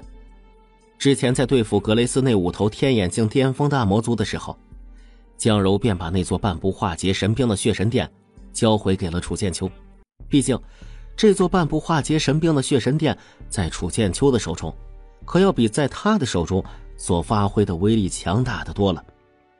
对于江柔的举动，楚剑秋倒也没有拒绝。在这种级别的战争中，可不是客气的时候，自然要尽量把这种威力巨大的宝物利用最大化。而且这次战争，楚剑秋并没有让江柔参与，而是让江柔在南州中帮忙镇守玄剑宗。因为这次的战争实在太过凶险了，楚剑秋可不想让自己母亲有个什么闪失。楚剑秋身形一闪，进入血神殿中，驾驭着血神殿，朝着实力最强的胡尔达冲了过去。宫殿堡垒类法宝，在所有类型的法宝中，几乎是威力最强的一种。而且，由于这种类型的法宝有着强大无比的防御力，只要防御没有被攻破，在宫殿里面的人就不会受到伤害。可以说是保命的无上至宝。也正是凭借着这座半步化劫神兵级别的血神殿，楚剑秋才敢直接正面和胡尔达这种半步化劫境级别的暗魔族强者硬刚。即使他打不过对方，凭借血神殿的防护，还是可以自保的。血神殿见到楚剑秋驾驭着血神殿朝着自己冲过来，霍尔达心中不由一怔，脸上露出几分不可思议的神色。这人族蝼蚁居然拥有血神殿，这怎么可能？要知道，在诸天万界之中，人族和血族同样也是死敌，两者之间是不可能会合作联手的。而血神殿在血族之中可是非常著名的宝物，这种法宝无论是攻击力还是防御力都非常强悍，血族怎么可能会把如此重宝送给一名人族武者？胡尔达此时虽然心中疑惑重重，但面对已经杀到跟前的那座血神殿，他也只能迎战。以楚剑秋的实力，还无法真正发挥出血神殿的真正威力。对于伤害胡尔达这种级别的暗魔族强者，还是做不到的。但他利用血神殿的坚固防御力，还是把胡尔达给牵制住了。楚剑秋利用血神殿牵制住实力最强的胡尔达。而他的第三分身沈寒秋，则是和林醉山、段千和、楚香天、入化小青鸟和宫野岩等人对付其他的天眼境巅峰大魔族强者。由于有了这几头新的天眼境巅峰大魔族强者的加入，沈寒秋和林醉山、段千和楚香天等人对付起来，也就没有一开始那么轻松了。一时间，双方陷入了艰苦的鏖战之中。见到这一幕，楚剑秋迫不得已。在南州的污垢分身只能开始调动机关营的将士，开始运送那些战争兵器过来进行支援。光靠他们现在这些人，可无法击退这些暗魔族强者。而且，这场战争拖的时间越久，对人族这边越是不利，因为人族那边的很多强者都是施展了燃烧生命潜力的禁术的，这注定他们无法久战。所以，这场战争必须速战速决。尽量争取在那些人族强者的禁术力量消退之前，把这些暗魔族强者击退。楚剑秋并没有打算把这些暗魔族强者歼灭，因为这是一件不可能完成的事情。一百多名的天眼境巅峰以上的暗魔族强者，尤其是还有至少十名的半步化劫境的暗魔族强者，如此可怕的一股力量，即使把玄剑宗和道盟所有的力量都带过来支援，都不可能把他们歼灭。能够把他们击退，已经算是谢天谢地了。在楚剑秋的无垢分身的调动下，一众机关营的将士把一具具庞大无比的战争兵器从南州搬到了这座岛屿上。跟着这些机关营将士一起过来的，还有诸葛兵、许衡湖、周玲、百里哲、于石、沈西寒等一众天眼境初期的武者。本来，这一次的战争，楚剑秋和林醉山。都不打算让天眼境中期以下的武者参与，毕竟这种级别的战争让天眼境初期的武者参与进来是非常非常危险的，一个不小心就有可能会让这些天眼境初期的武者出现巨大的伤亡。但战局进行到这个地步，他们也顾不得那么多了。一旦被这些暗魔族的计划得逞，让他们打破封印，把封印下面的化劫境暗魔族强者放出来，那对天武大陆来说，才真正是一场巨大无比的灭顶之灾。当然，楚剑秋让这些天眼境初期的武者过来，也并没有让他们参战，而是让他们保护那些机关营的将士。毕竟，那些机关营的将士大多数都是非生境的修为，一旦被那些暗魔族强者逼近，是毫无半点的抵抗之力的。有这些天眼境初期的武者在，他们虽然也不是这些天眼境巅峰的暗魔族强者的对手。但是结成战阵的情况下，再借助一些符阵之力，还是勉强可以支撑得了一时半会儿的。这次被调动过来的，也不单是只有机关营的将士，还有符阵房的符阵师、建筑房的建筑师，以及神剑军、玄剑军、楚军，大量的将士源源不断的从传送阵中涌出。玄剑军、楚军、神剑军等一众将士。使用十万人级别的八阶极品战阵甲兵，组成一具具身高万丈的金甲巨人。这些金甲巨人按照大庚金战阵的阵型，结成一个强大无比的战阵。不过，这些金甲巨人在结成大庚金战阵之后，却并没有去参与战斗，而是摆出防守的阵型。楚剑秋把这些大军调过来，也不是让他们参战的，而是让他们守护机关营将士的。这些玄剑军、楚军和神剑军的将士组合成大庚金战阵，虽然也能够爆发出极其惊人的战力，但一旦被毁，所造成的损伤也是极其惨重的。楚剑秋并不想让这些将士们去和那些暗魔族强者去拼消耗，因为现在局势还没有走到那一步。在那些玄剑军、楚军和神剑军的将士结成防御战阵之后，接下来动作的。是建筑房的建筑师和扶阵的扶阵师。建筑房房主汤景山双手往地上一按，在他的土之大道的调动下，无数的泥土从地上涌起，这些泥土逐渐化成一个巨大的堡垒。其他的建筑师也是共同努力，迅速的修建着。很快，一座简易的城池便已经建造了出来。在城池建造出来之后，江记和宫野玲。带领着扶阵房的扶阵师，开始在这座简易的城池上布置着各种大阵。在无数建筑师、扶阵师的努力下，一座防御力坚固的要塞堡垒就这样形成了。随后，机关营的将士把一具具巨大的战争兵器摆在这座城池的城头上，开始对着那些暗魔族强者瞄准。对于玄剑宗的这些动作，暗魔族的强者自然也是看在眼里。他们自然不会眼睁睁看着玄剑宗的行为，很多暗魔族的强者都想要朝着这边冲过来，破坏玄剑宗的行动。但楚剑秋、沈寒秋、林醉山、段谦和楚香天等人又岂会让他们得逞？自然竭力阻拦他们冲过来。在人族一众高手的竭力阻拦下，大部分的暗魔族强者都被阻拦了下来，只有少部分的暗魔族强者突破重围，冲到大阵面前。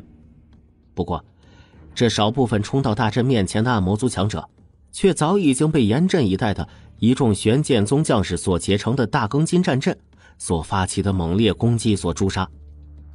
如此众多的玄剑宗将士所结成的大庚金战阵，威力也是非常可怕的。如果他们直接进入到战场上去参与正面的战斗，或许还有很大的危险。但结成战阵，以守株待兔的方式，等着那些暗魔族强者送上门来。就既能够爆发出最大的战力，却又能够保证自身的安全。单单两三头的天眼镜巅峰暗魔族，在如此强大的战阵面前，还是很不够看的。在好几头天眼镜巅峰的暗魔族强者冲到战阵面前，被大庚金战阵给诛杀后，那些暗魔族强者顿时也不由被这可怕的战阵所爆发出来的威力给惊呆了。人族每一次所展现出来的底蕴和实力。都让他们心中震撼无比。这千万年来，人族究竟发展到了何等可怕的地步？当年那一战结束之后，他们是可以确定，人族已经元气大伤，已经无力对他们进行追杀了。也正是因为如此，他们这一波残余的暗魔族强者，才那么放心的在大西洲的黑暗深渊沉睡养伤。如果在千万年前，人族的残余力量还有这么强大，恐怕人族大军。早就已经攻打进黑暗深渊了，哪里还会等到现在？没想到，经过千万年的发展，人族非但没有衰落，反而好像还重新崛起了。在见识到人族大军所展现出来的战力之后，诺埃尔、胡尔达和戈尔德等暗魔族强者对贝鲁特就更加痛恨了。该死的贝鲁特，居然给他们提供如此虚假的情报，对他们造成如此致命的误导。他们已经可以肯定，贝鲁特肯定是已经被人族给收买了，或者是贪生怕死的贝鲁特，在见识到人族的实力之后，心中畏惧之下就投降了人族，所以这才配合人族设下了如此巨大的陷阱等着他们。当见识到人族大军战阵的威力之后，诺埃尔、戈尔德等一众暗魔族强者当即舍弃了攻打封印的打算。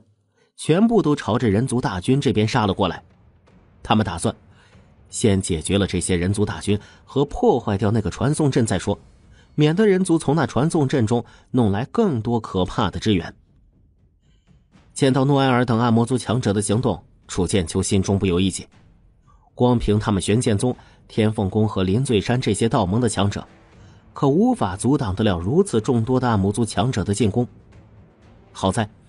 那须发皆白的老者等镇守封印的人族强者，在看出暗魔族的意图之后，也是竭尽全力的去阻挡暗魔族的行动，甚至那须发皆白老者还不惜调动更多的封禁大阵的力量，来阻拦诺埃尔等暗魔族的行动。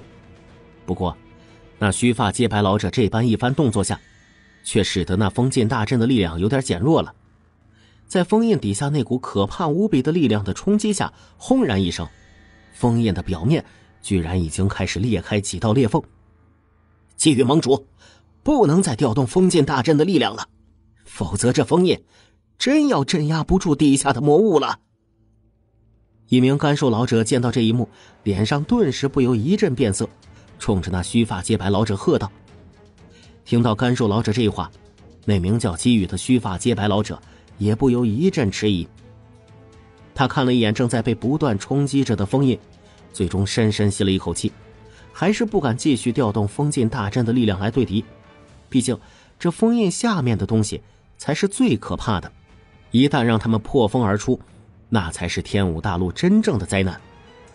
不过，名叫姬宇的须发皆白老者，虽然不敢继续调动过多的封禁大阵的力量来对敌，但是由于他们刚才的阻拦，已经为玄剑宗那边赢得了时间。当诺埃尔等暗魔族强者。冲破这些人族强者阻拦的防线，朝着玄剑宗大军方向冲过去的时候，玄剑宗的那座要塞城堡已经建造了起来。一具具庞大的战争兵器已经架设在城头上。看着那些冲过来的暗魔族强者，机关营主将张成脸色沉肃，沉声喝道：“众将士听令，给我轰！”在张成的一声令下。数百具战争兵器同时爆发，一道道巨大的光柱朝着那些冲过来的暗魔族强者轰了过去。这些光柱的来势实在太快了，而那些暗魔族强者又没有料到这些战争兵器的威力这么大，一时间，大半的暗魔族强者都被这些战争兵器正面轰了个正着。这些战争兵器全部都是先天上品和先天极品的战争兵器，只要被正面轰中。即使是以暗魔族强者的防御力之强悍，也非受伤不可。甚至有一些在之前和人族强者交战中，本就受伤不轻的天眼境巅峰暗魔族强者，被这些战争兵器正面轰中之后，居然当场被击毙。见到这一幕，诺埃尔脸色不由难看无比。他实在想不到，这次的行动最终居然会发展成这样。以这些战争兵器的威力。再加上那座城池要塞上早已经摆好的森严无比的战阵，他们要想冲到那座城池要塞面前，干掉那支大军，恐怕会损失不小。而且这沿途上，这些人族强者也不会在一旁干看着。在一众人族强者和这些战争兵器的配合下，等他们冲到那座城池要塞面前，恐怕付出的代价会超出他们的想象。一旦他们损失过大，今天的行动，可就很有可能会失败了。而一旦他们今天的行动失败，可就再没有第二次机会，可以把克里斯大帅他们从封印中救出来了。诺埃尔脸色阴沉的看了一眼远处的那座新建起来的城池，最终还是放弃了攻打那座城池的打算。大家全力以赴，不惜一切代价，打破封印。诺埃尔对一众暗魔族强者下令道。在一开始的时候，由于他们暗魔族这边占据绝对的优势，所以对于攻打封印之事，一众暗魔族强者并没有太过着急，而是按照损失最小的、最为稳妥的方案进行。毕竟，如果不用死的话，谁也不想死。而在一开始的时候，以暗魔族强者所占据的绝对优势，人族落败是迟早的事情。只要把这些镇守封印的人族强者全部杀了。到时候再来慢慢打开封印，就容易的多了。但现在情况完全变了。由于人族支援力量的到来，他们暗魔族这边已经很难占据绝对的优势，而且他们还不知道人族究竟还有多少力量没有到来。事情久拖下去，恐怕迟则生变。所以，一众暗魔族强者开始改变策略，集中力量，开始疯狂的攻击封印。而感受到外面攻击封印的力量加大，封印底下冲击封印的力量，顿时也开始变得更加剧烈了。在两者里应外合的配合下，咔嚓咔嚓，一声碎裂的声音响起，封印的表面上开始裂开一道道巨大的裂缝。见到这一幕，一众人族强者不由大惊失色。那些镇守封印的人族强者也开始更加拼命的阻挡着暗魔族强者对封印的破坏。另一边，楚剑秋见到那一幕，心中也是有几分焦急。他驾驭着血神殿，朝着封印这边直接冲了过来。南州，楚剑秋的无垢分身通过传送阵，前往东海十大霸主的族地，开始把东海十大霸主的那些飞升境大军也开始调动过来。东海十大霸主的老巢早就已经被楚剑秋带领玄剑宗的高手给端了，而这十大霸主所留下来的飞升境大军也都被楚剑秋给收服。东海十大霸主所留下的飞升境大军数量非常多，光是蛟龙族就有三十万飞升境大军。其他九大霸主虽然飞升境大军数量要比蛟龙族少一些，但即使最弱的海象妖族也有十五万飞升境大军。东海十大霸主的所有飞升境大军加起来，达到了两百多万，这是一股非常可怕的力量。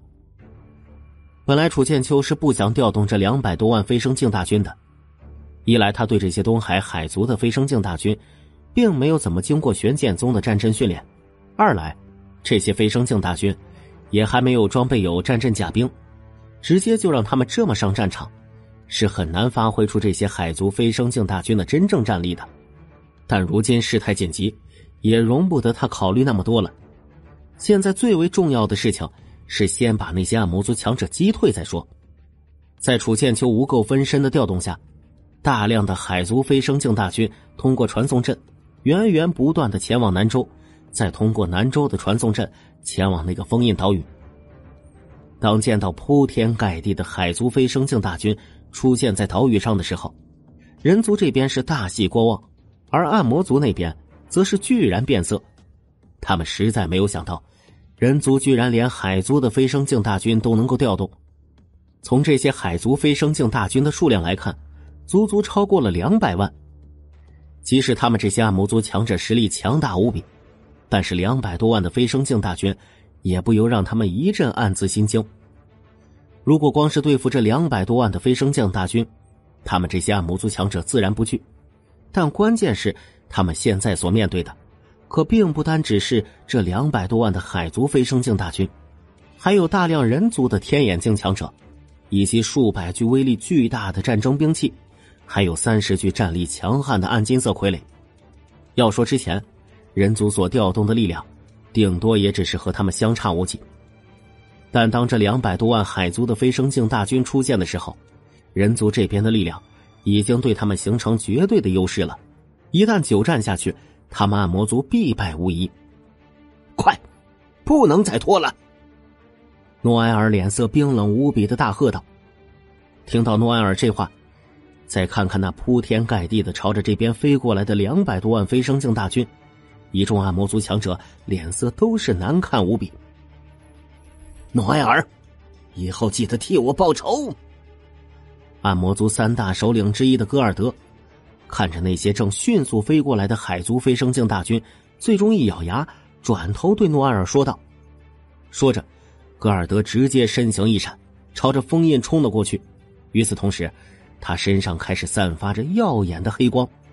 下一刻，轰然一声巨响，戈尔德整个人都爆炸开来，恐怖无比的爆炸威力轰击在封印上。”顿时使得封印表面的裂痕更加巨大了。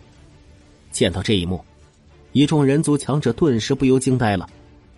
他们无论如何都没有想到，这名最强的暗魔族强者之一，堂堂的半步化劫境的暗魔族，居然会选择自爆。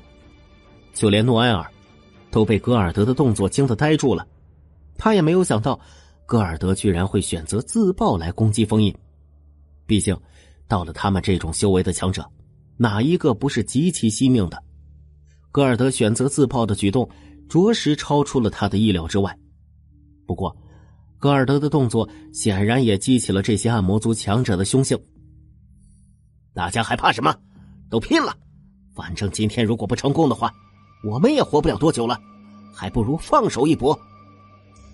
又一名半步化捷境的暗魔族强者大喝道：“说罢，这名半步化捷境的暗魔族强者也跟着朝着封印冲去，轰然一声，以自爆来攻击封印。”听到这名半步化捷境的暗魔族强者这话，那些暗魔族强者一个个都是凶性大发，前赴后继的以自爆来攻击封印。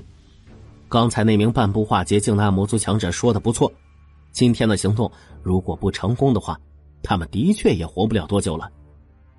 在千万年前的那一战，他们本来就受到了极其沉重的伤势，虽然经过上千万年的沉睡，让他们的伤势恢复了大半。但千万年岁月过去，也让他们的寿元消耗的差不多了。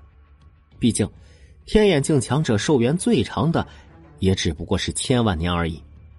他们之所以能够活到现在，一来是因为沉睡本来就有助于延长寿命，二来也是因为借助了他们暗魔族的一件宝物来延长他们的寿元。但即使如此，他们所剩下的寿元也已经不多了，除非他们能够得到大机缘。在修为上有进一步的提升，突破到化劫境，否则他们能够活的时间也剩不了多久了。也正是因为如此，这些暗魔族强者才会如此凶悍，毫不畏死的前赴后继，以自爆来攻击封印。要是他们还有大把岁月可活的话，这些暗魔族强者未必会如此不惜性命。在这些暗魔族强者前赴后继的自爆来攻击封印，那封印上面的裂缝。顿时越来越多了，而那些镇守封印的人族强者见到这一幕，也是束手无策。对于这些暗魔族强者的举动，他们根本就无法阻拦。这些暗魔族强者现在都已经不怕死了，他们还怎么阻拦得了？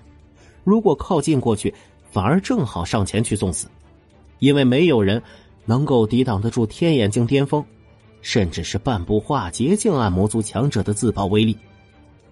即使是人族的最强者，道盟盟主姬宇，在半步化劫境的暗魔族强者自爆威力之下，也必然会被重创，甚至被拖着一起同归于尽。所以，在见到这些暗魔族强者如此疯狂的举动，这些镇守封印的人族强者非但不敢上前阻拦，反而退了开去，避开那些暗魔族强者的自爆区域。他们唯一所能够做的事情，就是全力以赴的去维持封印的稳定。一众镇守封印的人族强者不顾一切的把自身真元疯狂灌注进封禁大阵中，拼命维持着封印的稳定。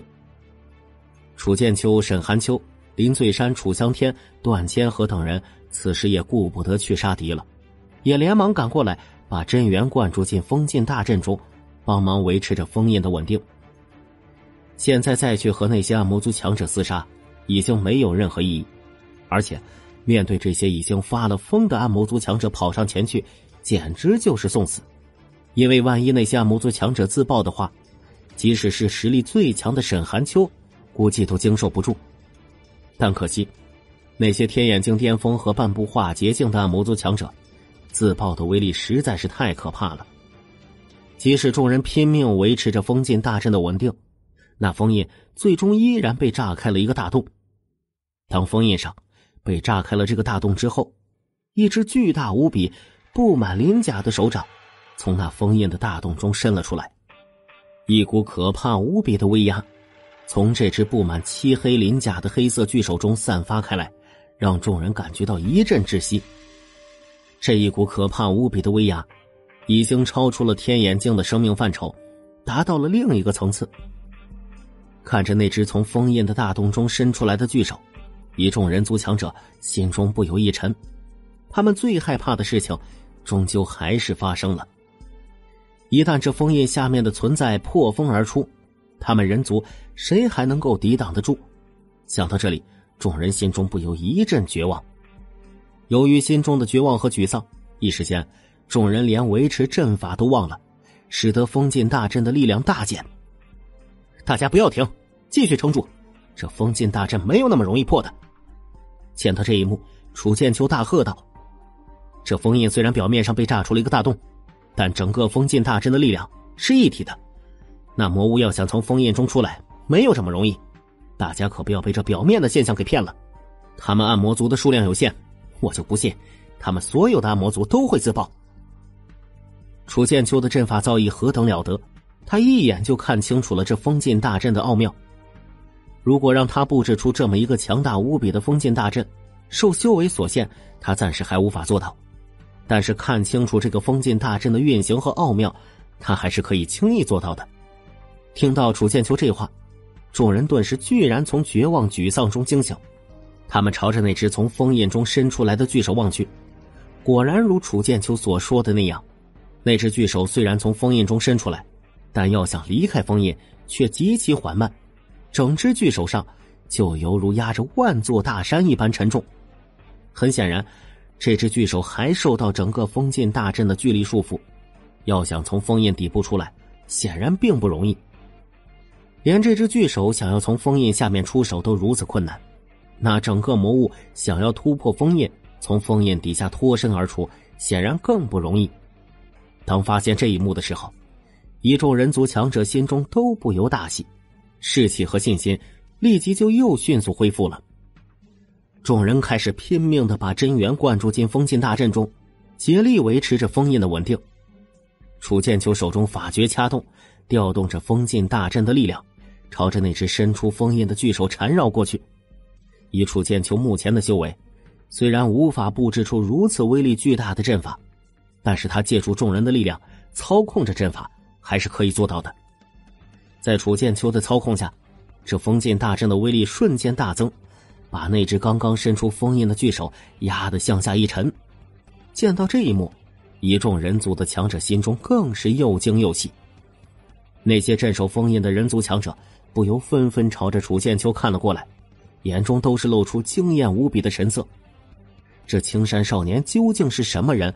真是好一个绝世英才！楚剑秋之前的表现就已经惊艳到众人了，而现在，这些镇守封印的人族强者见到这青山少年，非但一眼就看出了这封禁大阵的奥妙，而且现在居然还能够操控这封禁大阵，爆发出如此巨大的威力。要知道，就连人族的领袖道盟的盟主姬羽，对这封禁大阵的操控都达不到如此威力，但现在。这么一个区区飞升境初期的少年，却就完成了如此惊人的壮举，这着实令他们感觉匪夷所思。这封禁大阵是当年无数人族的化劫境强者花费巨大的代价联手布置下来的，其复杂奥妙达到了难以想象的地步。一般的天眼境武者连这个封禁大阵的皮毛都搞不清楚，就更不用说操控了。就连这封印的第一代镇守者。当年就没有完全搞清楚这封禁大阵的奥妙，等到第一代镇守者逝去之后，封禁大阵交到姬羽这一代镇守者的手中的时候，他们对这封禁大阵的理解和掌握也就更差了。